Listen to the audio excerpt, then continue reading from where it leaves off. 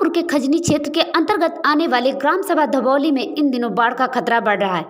वहीं आपको बता दें कि कुआनो नदी का पानी इस कदर बढ़ रहा है कि आने वाले समय में पानी का कटान गाँव वाले लोगों की परेशानी का सबब बन गया है। वहाँ के लोगों का कहना है कि अगर इसी तरह पानी का कटान होता रहा तो बहुत ही जल्द इस ग्राम सभा का अस्तित्व ही खत्म हो जाएगा। वहीं धोबैली ग्राम सभा के प्रधान संतोष यादव का कहना है कि हम सभी की इच्छा है कि शासन इस ओर ध्यान दे। ताकि समय रहते ही हम बाढ़ रूपी महाप्रलय का सामना कर सकें। जहाँ यह कटान हो रहा है, वहाँ से महज कुछ ही दूरी पर प्राथमिक विद्यालय धुबैली, जहाँ छोटे छोटे बच्चे पढ़ते हैं। नदी का कटान इस कदर बढ़ रहा है कि गाँव वाले लोगों की नींद उड़ गई। गाँव वाले लोगों का कहना है कि हमारे प्रदेश की सरकार, हमारे गाँव की ओर थोड़ा ध्यान दे। वहीं ग्राम प्रधान संतोष यादव का कहना है कि हम गाँव की इस भय में समस्या से निजात दिलाने के लिए आला अधिकारियों से मदद की गुहार लगाई।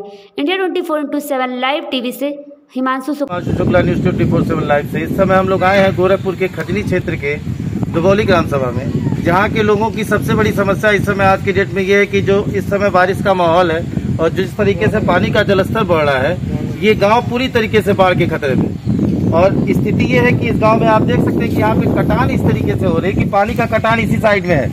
अगर इसी तरह आगे काटती रही तो हमारा पीछे जो इसके जस्ट धुबोली ग्राम सभा का इकलौता प्राथमिक विद्यालय है और इस प्राथमिक विद्यालय पर भी दिक्कतें हो सकती हैं और यहाँ के शायद बच्चों का पठन पाठन में बहुत ज़्यादा दिक्कत आ जाएगी। जैसे आप देख सकते हैं, ये मकान बना हुआ है यहाँ पे। ये मकान ये मकान किस तरीके से बना क्योंकि लोग जब बनवाना स्टार्ट, यहाँ के लोगों का कहना है जब इन्होंने इस मकान का निर्माण कराने की कोशिश की किया शुरुआत की उस समय तो उस समय पानी का जलस्तर वहाँ रहता था। लेकिन ये कटान काटते काटते स्थिति है कि पानी आज यहाँ आ गया है।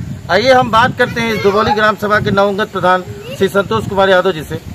सर बताएँ क्या है आप इसके बारे में क्या कहना चाहेंगे? इस जो कटान जिस तरह हो रही है? इस तरह की कुहानो नदी है सर हर साल ये कटान करती रहती है हमारे गाँव में और हर साल दिक्कतें आती रहती हैं।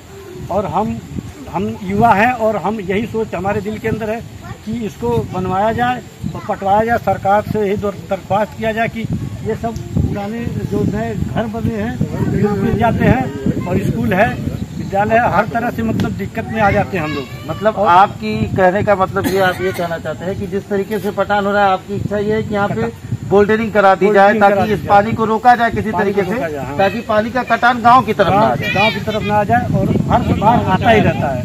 गाँव को बचाया जाए किसी तरह से। जैसा कि आप देख सकते हैं यहाँ के गाँव के लोग भी इकट्ठा हुए हैं और इसी संदर्भ में हमारे चाचा जी से बात कर रहे हैं। नाम बताइए चाचा जी अपना।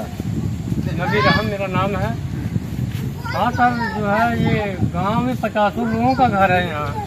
ऐसी स्थिति बनी रहेगी तो पूरा गाँव ही कट जाएगा हमारा। स्कूल भी है पूरा गाँव है सभी कट जाएगा। इसका अगर कोई व्यवस्था हो जाता तो बढ़िया होता।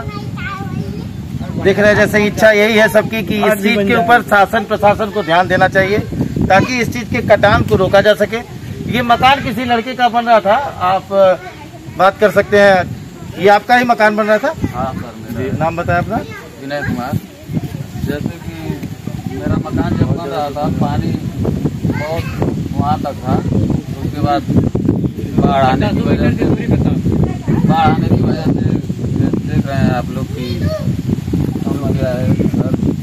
और मतलब इनका भी ये कार्य जो करवा रहे थे, इनका जब मकान निर्माण कराना चाहा इन्होंने, उस वक्त तक तो पानी दूर होता था। लेकिन जब मकान ये बनवाने लगे, उसके बाद देखिए कटान इस तरीके से बढ़ने लगी। इसकी चूँकि ये हर साल की बात है ये। ये हर साल पानी इसी तरह बढ़ जाता है और स्थिति ये हो जाती है। मैं इस समय हिमांशु शुक्ला आया हुआ था भगौली ग्राम सभा में news twenty four seven live के।